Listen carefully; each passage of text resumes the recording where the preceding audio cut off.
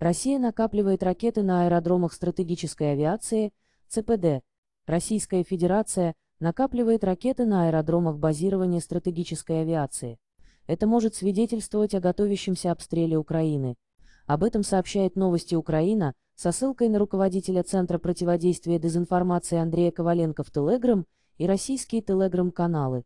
К сожалению, Россия накапливает ракеты на аэродромах базирования стратегической авиации.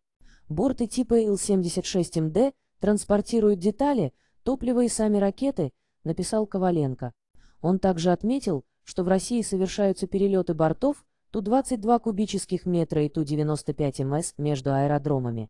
Не исключено, что у врага идет подготовка к ударам, подчеркнул он, обстрелы энергетики Украины. С начала года Россия осуществила 9 атак на энергетическую инфраструктуру Украины, что повлекло за собой дефицит мощности в пиковые часы. Летом возобновились отключения электроэнергии из-за обстрелов, но осенью ситуация стабилизировалась. Центр противодействия дезинформации предусматривает несколько сценариев. На осенне-зимний период по оптимистическому электричество будет предоставляться 12 часов в сутки.